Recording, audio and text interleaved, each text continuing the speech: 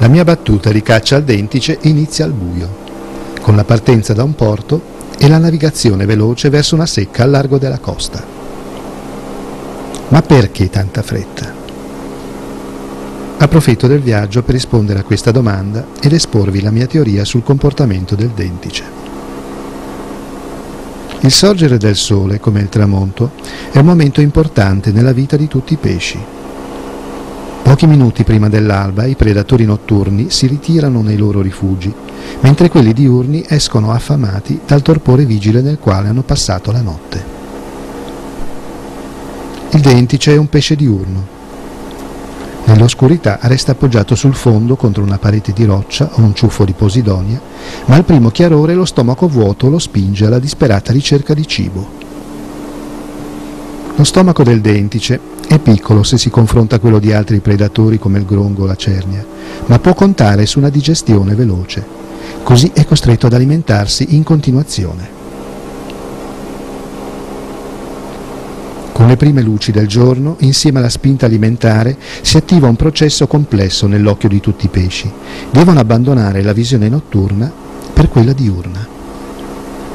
La loro retina è più raffinata di quella dell'occhio umano. I fotocettori impiegati nella visione notturna all'alba affondano nella guaina di uno strato epiteliale scuro, venendo schermati, mentre quelli per la visione diurna sono ritirati dallo stesso strato per essere impiegati nell'ambiente diventato più luminoso. Questi movimenti retinomotori non sono istantanei, ma impiegano una ventina di minuti per completarsi. In questo periodo la vista del pesce non è al massimo dell'efficienza e le sue difese sono affidate principalmente ai sensori dell'apparato acustico laterale. Ogni predatore animale conosce a fondo le debolezze nell'impianto difensivo delle sue prede. Così il dentice, che gode di una vista superiore ad altri pesci, in ragione di una disposizione particolare degli occhi nella scatola cranica, all'alba, nel momento di stallo dell'impianto visivo, ha un'attività di caccia frenetica. Passa rasente le rocce ed attacca le prede in controluce. Ma se all'alba le condizioni di penombra di un fondale marino avvantaggiano il dentice nei confronti del pesce azzurro, un altro cacciatore del mare, dotato di un'acuità visiva superiore, lo insidia a sua volta con lo stesso successo. È il pescatore subacqueo. Le grandi macchie scure sul fondo, ancora scarsamente illuminato, mimetizzano la forma del suo corpo immobile. Agli occhi del nostro sparide, la sagoma del cacciatore potrà apparire come una semplice spaccatura nella roccia. Anche la discesa verso il fondo, forse la fase più critica dell'immersione, perché la figura umana si staglia in movimento nella colonna d'acqua, si svolge in condizioni di luce scarsa. Questa è la scena che potrà apparire a un cacciatore mattiniero quando sceglie la secca giusta.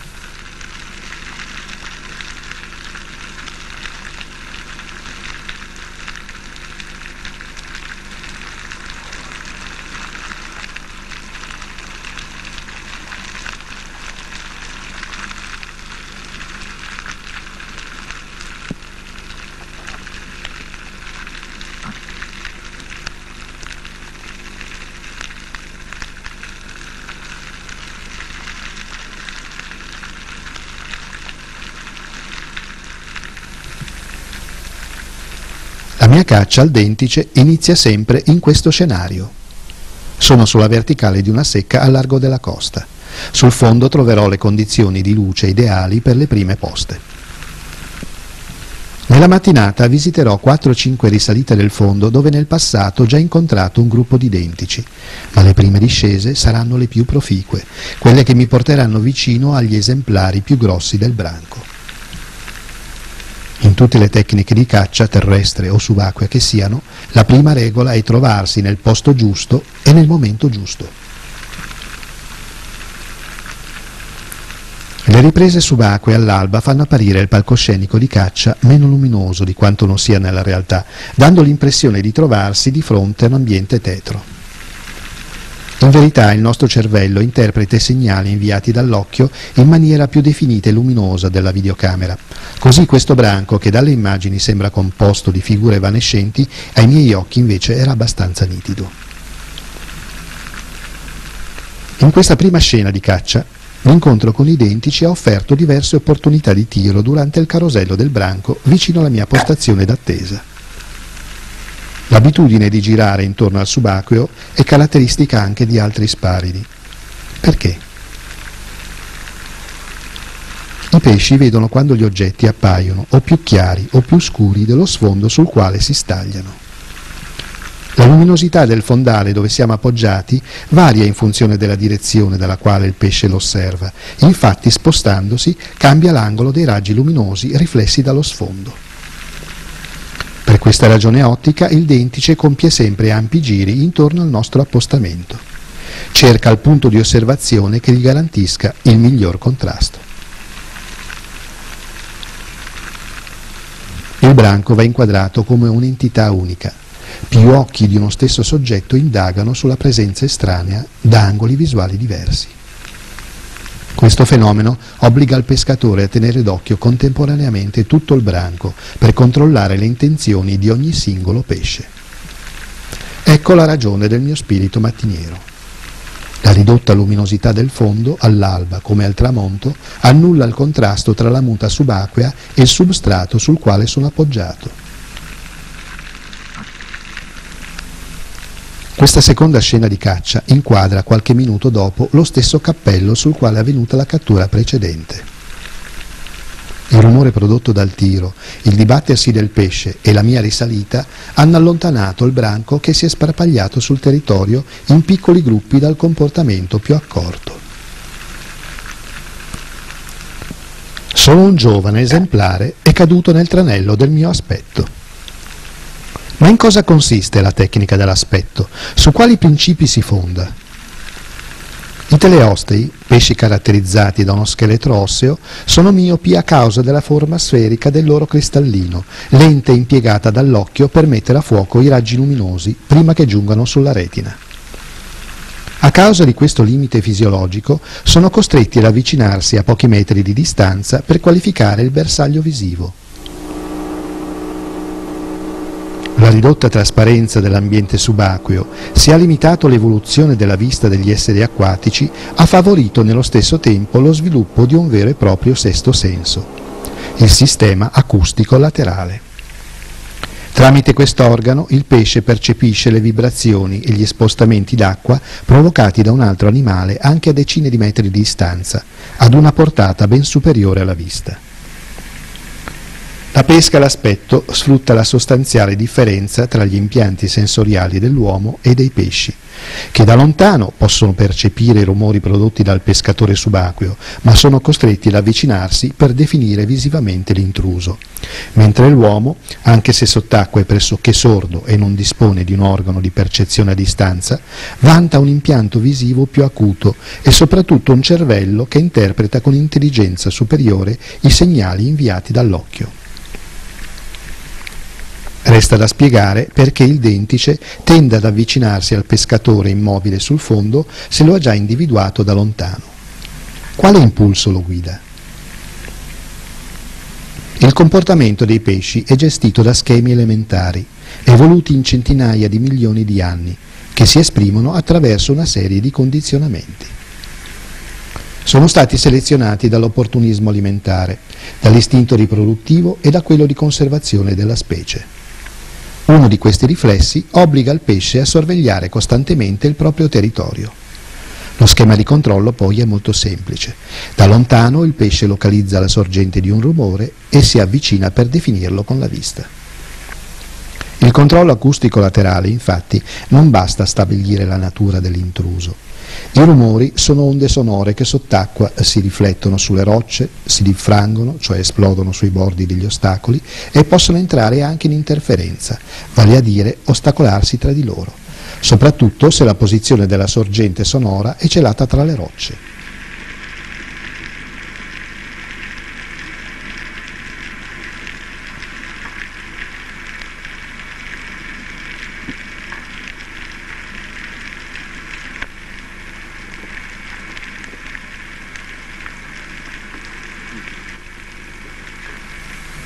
Osservate il comportamento del dentice che tra poco si avvicinerà al mio appostamento.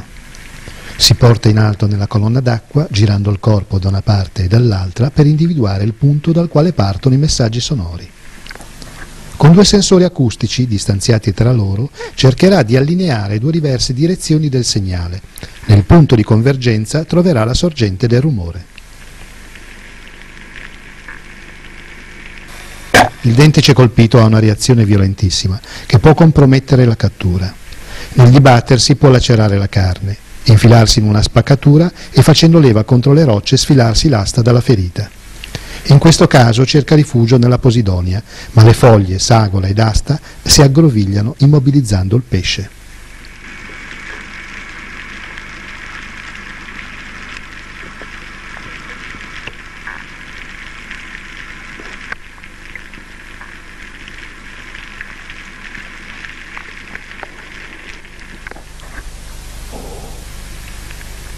La battuta al dentice richiede una strategia fatta di molti spostamenti. Dopo una decina di immersioni, se il branco che di solito frequenta una secca non è venuto a controllare, è inutile insistere, conviene cambiare posto. Scelta la zona da battere, le discese vanno distanziate una ventina di metri una dall'altra, perché il raggio di rilevamento acustico laterale del dentice è molto ampio, una quarantina di metri circa. La grandezza dell'area sulla quale un pesce esercita il controllo territoriale è determinata dalla portata dei suoi sensi. Quando atterriamo sul fondo, spesso siamo circondati da piccoli pesci come triglie o alcuni labridi, i cui sensi hanno un raggio d'azione di pochi metri. La perca o lo sciarrano, per esempio, dimostrano la propria territorialità andando a mordere la punta dell'asta del fucile solo se atterriamo nel raggio di un metro circa dalla loro posizione. Sono pesci che razzolano in aree ristrette, hanno occhi adattati per vedere a distanza ravvicinata. Nel caso del dentice, per attivare il riflesso del controllo con la nostra discesa verso il fondo, dobbiamo intersecare la sua area territoriale. Quindi nella fase di ricerca in superficie le immersioni devono essere programmate come su una scacchiera per influenzare la maggior superficie possibile di una secca.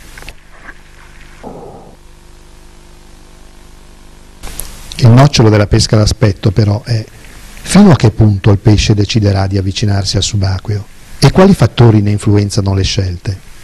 Seguiamo allora un'azione di caccia per studiare l'interazione tra il pescatore e un branco di dentici. Sono giunti da molto più lontano della portata della vista, puntando in massa alla postazione d'attesa. Del gruppo solo uno si è portato quasi a tiro. Purtroppo la posta risulta scoperta e illuminata e i dentici preferiscono passare vicino allo strapiombo.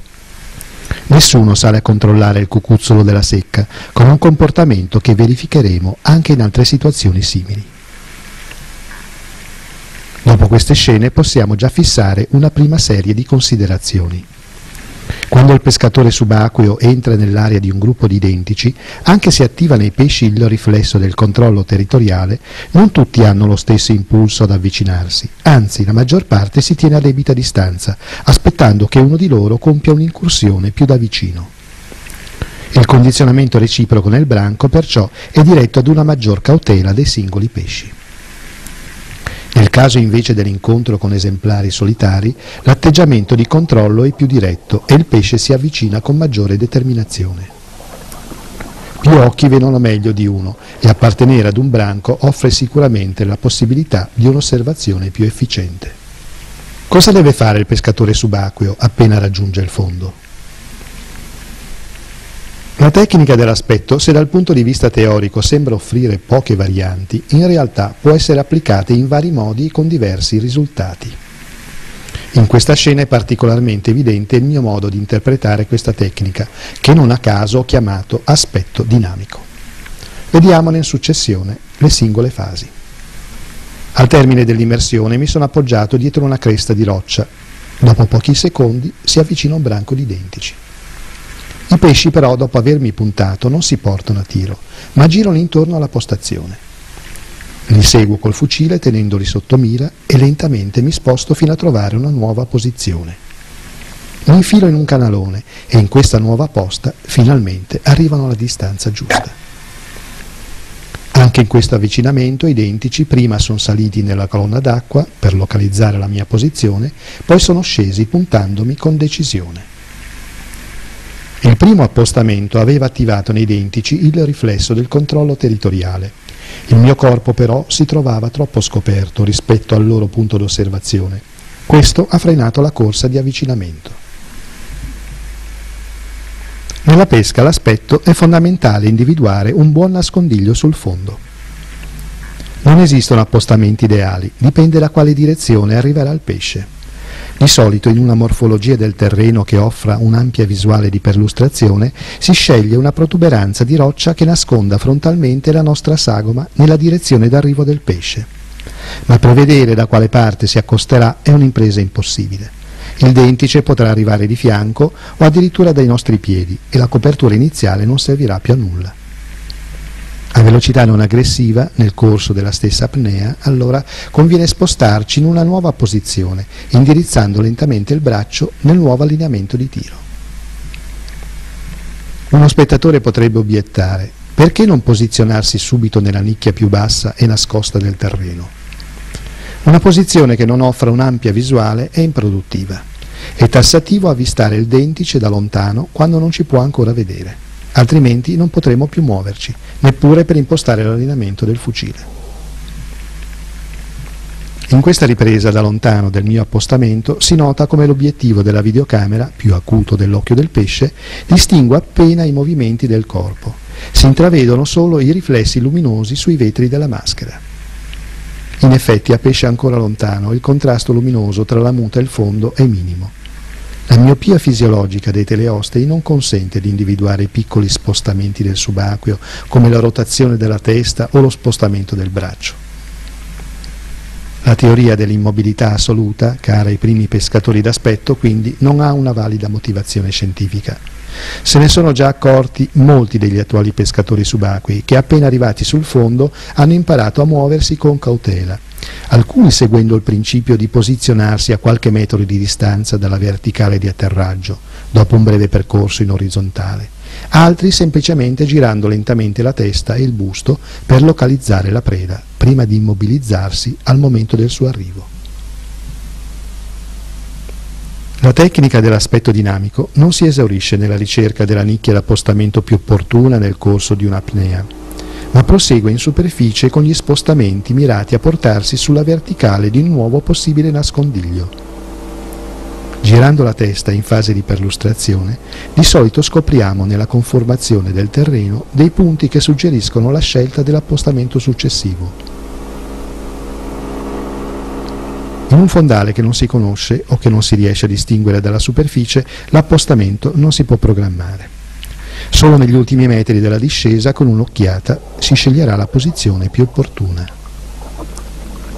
La casualità del punto d'atterraggio può favorire o no la cattura dell'eventuale dentice, come si è visto nell'incontro con quel branco che sfilava lungo lo strapiombo.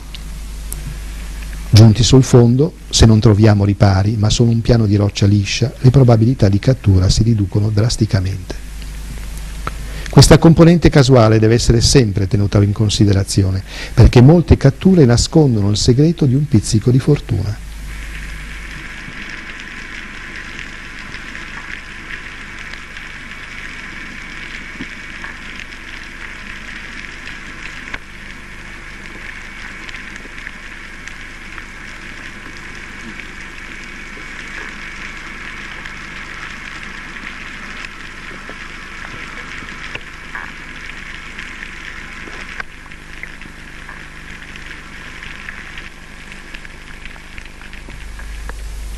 Fortuna è anche trovare dei pesci che stazionano tranquilli davanti al punto di attesa.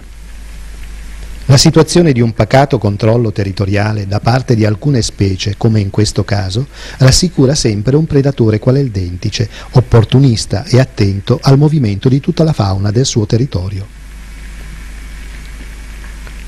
Quando incontro un dentice isolato ho l'intima convinzione di poter giungere facilmente alla sua cattura. Il solitario è un pesce più vulnerabile di quello che viaggia in branco, perché non è soggetto al condizionamento dei cospecifici più sospettosi. Avrete notato come mi sia spostato incontro al pesce nel timore che passasse lontano oltre le piccole creste di roccia davanti al mio appostamento.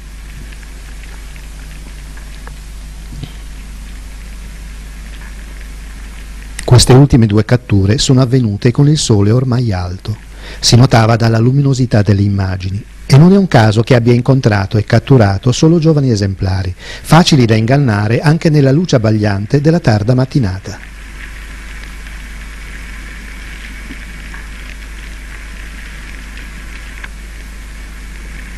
Torniamo nella penombra dell'alba e vediamo se è ancora così facile con gli individui adulti. Le ventennali osservazioni sulla condotta dei dentici mi hanno portato alla convinzione che questi animali siano dotati di una buona memoria corta, ma difettino in quella di lungo periodo.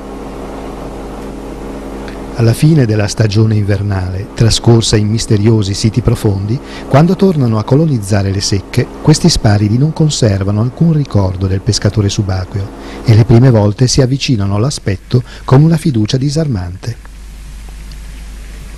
Nell'arco di una stagione estiva, a volte ho l'opportunità di rincontrare lo stesso branco dopo una cattura. Nei successivi contatti il comportamento si dimostra sempre visibilmente cambiato. Sono giunto così alla conclusione che i dentici riescono ad associare al nostro rumore corporeo quello del tiro di un fucile.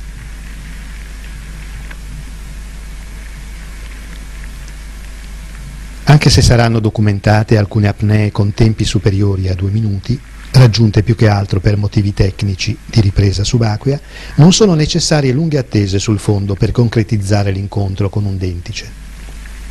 Facendo riferimento ad un'immersione a 25 metri di profondità, un'apnea di un minuto e mezzo nella maggioranza dei casi è più che sufficiente per avere il pesce a tiro. Attese più lunghe sono veramente inutili. Conviene spostarsi in superficie ad una decina di metri di distanza e ripetere l'immersione. In una zona conosciuta vale la pena ripetere gli stessi appostamenti che nel passato hanno già avuto successo con l'identica polarità nella disposizione del corpo sul fondo. Nel punto dove mi sto immergendo, per esempio, ogni volta mi apposto allo stesso modo, alla base dello scalino dove la roccia diventa pianeggiante. Questo tipo di posta si rivela sempre vincente, sia nei confronti del dentice, sia riguardo all'orata. Evidentemente è un punto di passaggio obbligato, un crocevia nei misteriosi tragitti che queste due specie compiono sul fondo del mare.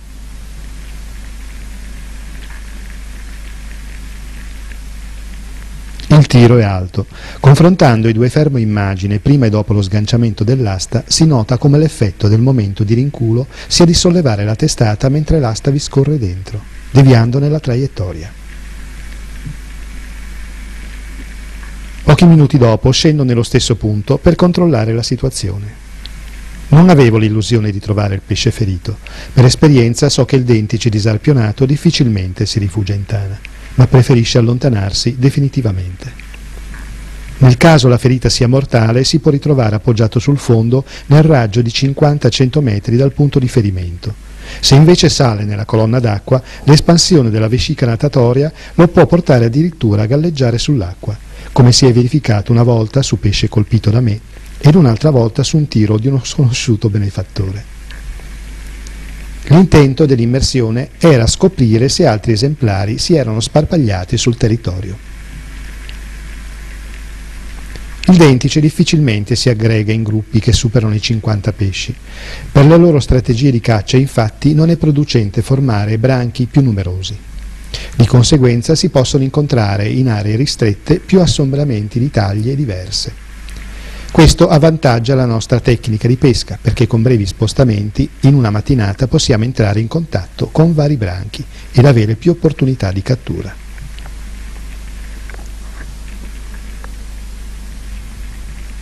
Come avevo previsto c'è un altro esemplare della stessa taglia.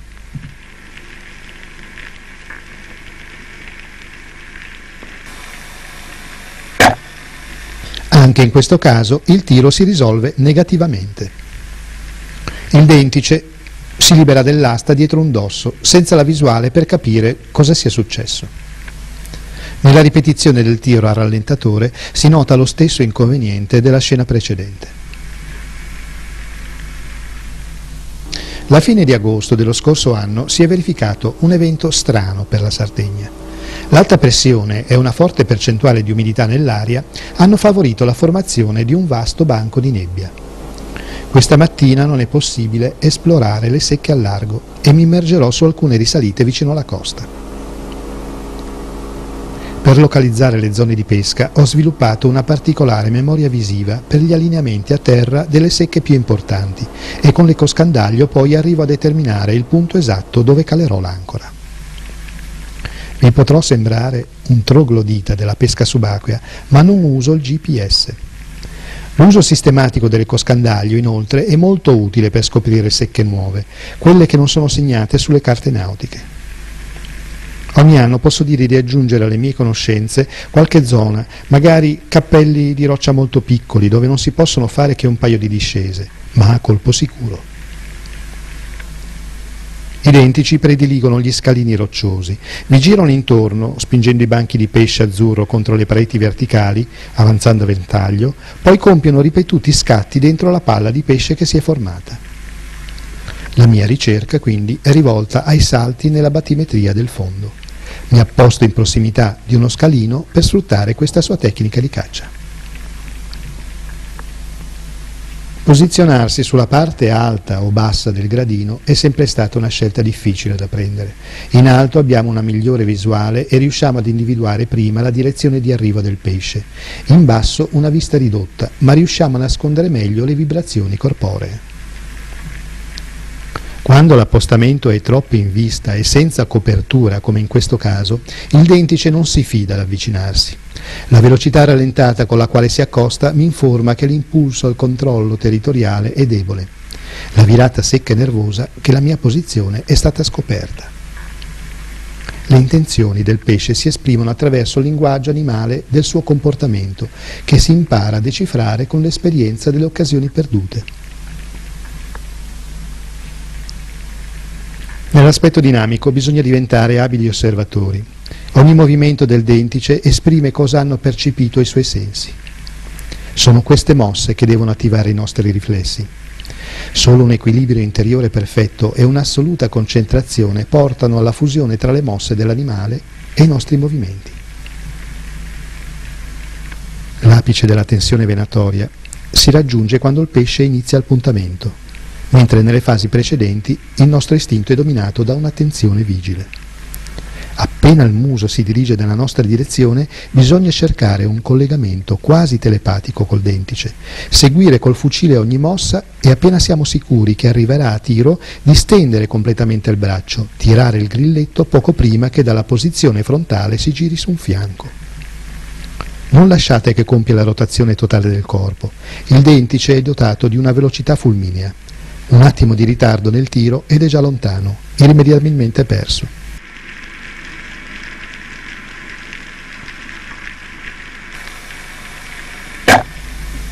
Predico bene e razzolo male.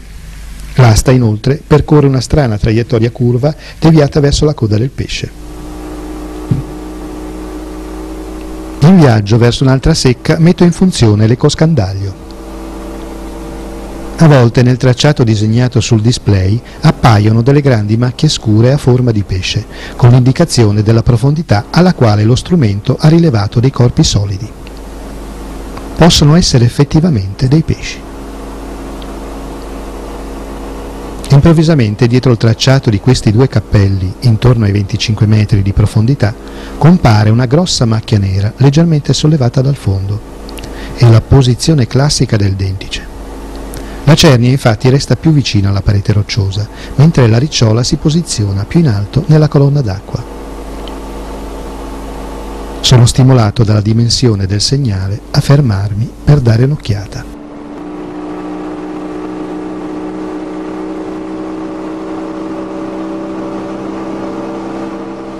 Sono le 9.35 e il sole è già alto sull'orizzonte. Il grosso esemplare individuato con l'eco scandaglio non si è mai avvicinato. Ed anche i dentici più piccoli apparsi per un attimo sul pendio che precedeva i sommi si dimostrano diffidenti e nervosi. La velocità d'avvicinamento di questo dentice mostra chiaramente che il riflesso del controllo è ben attivato, ma la virata stretta a 90 gradi che c'è qualcosa che non va nell'appostamento e sinceramente non riesco a capire che cosa abbia fatto scattare questa diffidenza. Il dentice si allontana, riattiva il riflesso del controllo, ma la posizione di posta è evidentemente sbagliata. Ricevo la conferma di questa valutazione dal comportamento di un secondo dentice, che giunge da più lontano, quindi non ancora influenzato dall'atteggiamento del primo pesce.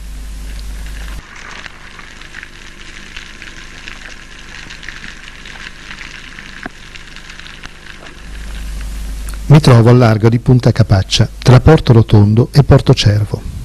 La macchia che biancheggia sulla costa è l'hotel Romazzino, fiore all'occhiello del consorzio della Costa Smeralda. La secca sulla quale mi sto immergendo è composta da tre cappelli, distanti tra loro non più di 100 metri. Su uno di questi sommi, a 28 metri di profondità, nel lasso di pochi minuti si sono succedute tre immersioni esemplari per comprendere la tecnica dell'aspetto dinamico. Siamo alla fine di agosto e sul fondo, oltre alla madre di un palamito abbandonato, trovo della mucillaggine. Lo scenario subacqueo in questi ultimi anni sta cambiando anche in Sardegna ed è sempre più frequente incontrare le pareti ricoperte di fango o di queste forme algali infestanti. Come il solito, una nuvola di castagnole mi circonda in un abbraccio che rivela la mia presenza. Non escludo che questo evento attiri i predatori.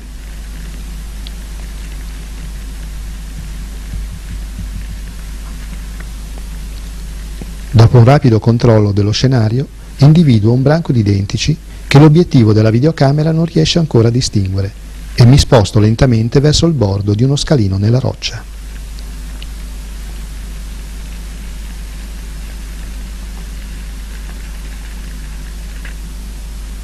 Inizia il loro avvicinamento, ma anche in questo appostamento c'è qualcosa che non li convince, perché restano fuori tiro. Forse può averli disturbati la sagola dell'ancora calata a poche decine di metri di distanza. Anche questa operazione va fatta con criterio, perché la catena nello scendere verso il fondo produce un rumore che può allontanare un branco di dentici. Inizia la seconda discesa verso il fondo, dopo essermi spostato in superficie una ventina di metri più a destra rispetto alla verticale della prima immersione. In questo punto c'è ancora della mucillaggine, ma non ci sono le castagnole. Subito si avvicina un dentice solitario. Per esperienza sono sicuro che fa parte dello stesso branco individuato in precedenza. La polarità del mio appostamento è la stessa dell'apnea precedente, approssimativamente sud-ovest, perché i dentici hanno dimostrato di aver occupato il lato ovest del cappello. Seguendo lo spostamento del pesce, però, ora mi trovo rivolto a sud. Si nota anche dalla luminosità della parte superiore dello schermo. Non escludo che tutta questa luce abbia provocato delle specchiate nei vetri della mia maschera. La ripresa della mia sagoma in controluce vuole mostrare come il contrasto luminoso renda chiari e definiti i miei contorni e come questo fenomeno ottico migliori la percezione visiva. Immaginate come possa risultare alla vista di un dentice la specchiata al centro della macchia scura della testa.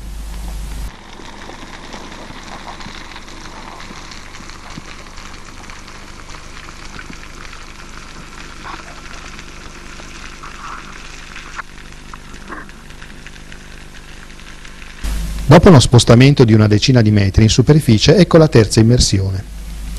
Ora mi trovo sull'estremo nord-ovest del cappello, rivolto con la stessa polarità degli appostamenti precedenti.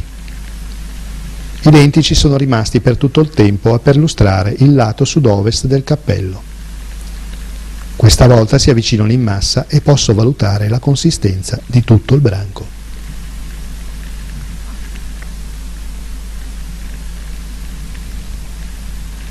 Nonostante le loro buone intenzioni iniziali, anche in questo terzo appostamento c'è qualcosa che non va e non si portano a tiro.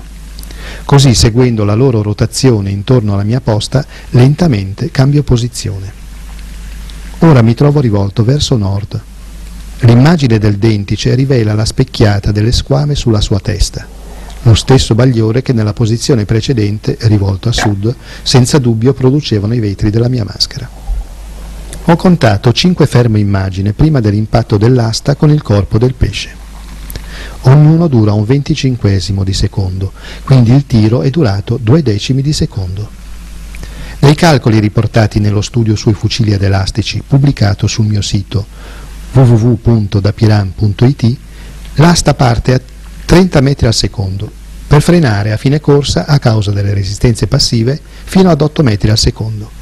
Quindi viaggia approssimativamente ad una velocità di 20 metri al secondo. Se moltiplichiamo questa velocità per il tempo del tiro, ricaviamo la distanza dalla punta dell'asta alla quale ho colpito il pesce. Questa risulta di 4 metri, come si poteva capire anche ad occhio e misurando la lunghezza della sagola e dell'asta.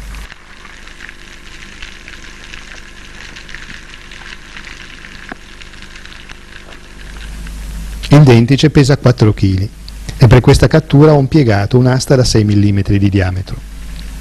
Si nota la livrea a grosse strisce verticali scure che il dentice indossa quando resta immobile. È un riflesso automatico, non cosciente, che scompare dopo la morte del pesce. Le scene che avete seguito fino a questo momento si riferiscono alle catture realizzate nei mesi di agosto e settembre dell'estate 2000 e sono state girate con la tecnica della videocamera impugnata nella mano sinistra. In realtà il progetto di realizzare un documentario sulla pesca d'aspetto al dentice era partito con l'intenzione di impiegare un'attrezzatura completamente diversa. Solo per caso, preso dalla disperazione, mi sono trovato a filmare con questa tecnica che a molti potrà sembrare difficile e scomoda.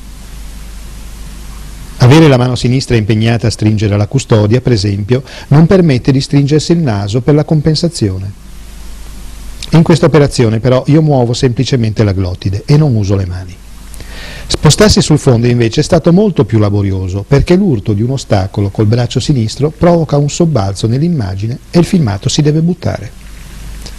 Avevo deciso di realizzare la ripresa delle catture da solo, senza valermi di un operatore, per le difficoltà incontrate nel video L'agguato profondo. Come tutti i predatori, il dentice è un animale sospettoso e diffidente. Non si lascia avvicinare facilmente da una coppia di subacquei e in ogni modo, trovandosi di fronte a due persone, il suo comportamento cambia.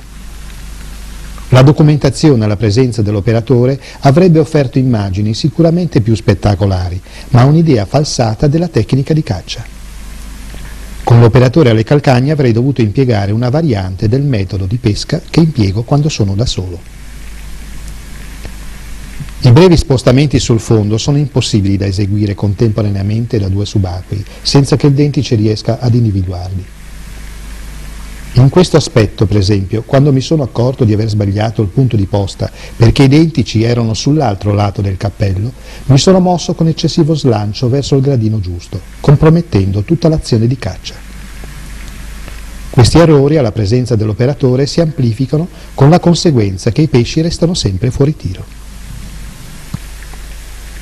In un primo momento il lavoro di ripresa subacquea era partito con una microcamera montata su un casco. Avevo perso diverse ore per determinare l'inclinazione da dare all'obiettivo e la posizione che doveva assumere la testa per centrare la scena di pesca. I movimenti del capo per individuare il pesce, nonostante i miei sforzi per rallentarli, si sono rivelati troppo rapidi e le riprese con questa tecnica sgradevoli da vedere. L'esperimento successivo invece si è dimostrato più gradevole, anche se limitato nell'inquadrare lo scenario di caccia. Ho montato la microcamera su un tutore che fasciava l'avambraccio. Questa è la custodia della microcamera con la quale ho girato le prime riprese di cattura al dentice. Per poter fissare la custodia ai vari supporti che ho impiegato nella mia esperienza di ripresa subacquea, ho costruito un tubo nel quale veniva alloggiata la microcamera. Questa poi veniva fissata a un tutore in fibra di carbonio che montavo sull'avambraccio. Così. Microcamera, obiettivo della microcamera e il fucile si trovavano sullo stesso asse di puntamento con la preda.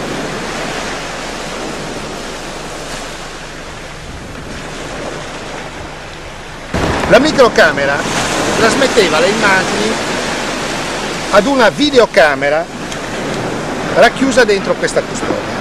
Questa custodia, come avete visto nelle immagini dove io documento eh, il montaggio della microcamera montata sul casco, veniva fissata in cintura esattamente come in piombo. In un primo momento, eh, per seguire mh, eh, la qualità delle immagini e l'inquadratura, avevo montato un uh, monitor per controllare l'evoluzione delle scene di caccia. Poi alla fine mi sono abituato a mirare con l'obiettivo esattamente come miro con il fucile.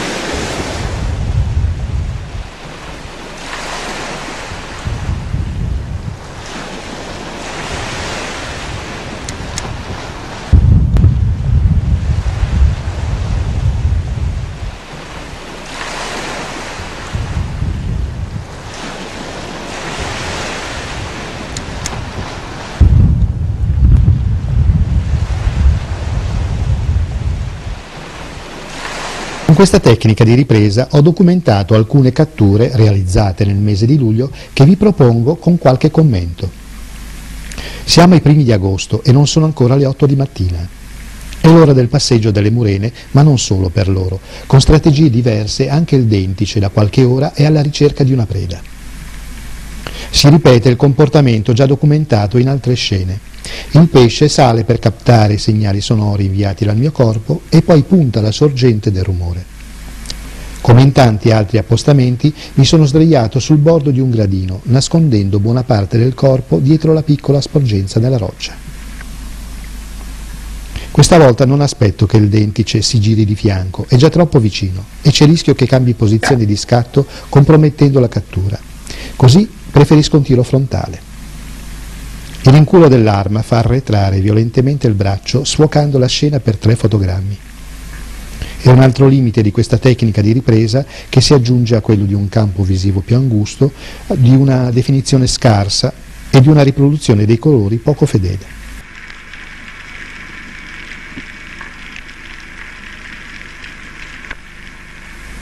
Questa invece è una scena di repertorio, girata con una videocamera digitale inserita per creare uno stacco tra una cattura e l'altra. Si nota subito la differenza nella qualità e nella definizione delle immagini. Quattro giorni dopo mi trovo sulla stessa secca, quasi nello stesso punto, ma un'ora più tardi. Quando un branco ha colonizzato una secca è facile incontrarlo sempre sullo stesso lato, semplificando la scelta del nostro appostamento. Il comportamento del gruppetto di identici è identico a quello di giorni precedenti. Probabilmente appartengono allo stesso branco. Anche la taglia coincide. Come nella volta precedente, risalgono dal fondo verso la parte alta del cappello. L'anno scorso per un certo periodo è impiegato un'asta da 6 mm di diametro con la doppia aletta. Con i dentici di taglia modesta, cioè fino a 4 kg, ho avuto dei buoni risultati. Per i pesci più grossi invece la doppia aletta ha dimostrato una scarsa penetrazione e il diametro dell'asta si è rivelato insufficiente, piegandosi in certi casi fino a diventare inutilizzabile. Sono le 5 e mezza di mattina. L'obiettivo inquadra Punta Marginetto, estremità nord-est dell'isola di La Maddalena. Da pochi anni è stato istituito un parco naturale nell'omonimo arcipelago, con le contraddizioni di tutti i parchi marini in Italia. I pescatori professionisti vi possono pescare sempre, ai pescatori dilettanti è permessa la pesca su quasi tutto il territorio protetto, dietro pagamento di una gabella mensile, mentre i pescatori subacquei, anche pagando un'identica tassa, sono autorizzati alla pesca solo nei dintorni dell'isola di La Maddalena. Come vedete tutto è proporzionato all'entità del prelievo. Chi reca più danno è libero, chi ne fa meno è limitato e paga. Ma i fondali di Punta Marginetto fanno dimenticare queste incoerenze, soprattutto quando offrono queste scene. Appena colpito il dentice si è rapidamente diretto verso il fondo, cercando un rifugio tra le rocce.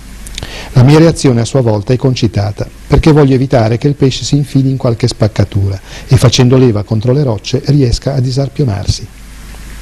La rapidità dell'intervento è proporzionata alla mole del pesce. Bisogna agguantare immediatamente la sagola per controllare la reazione.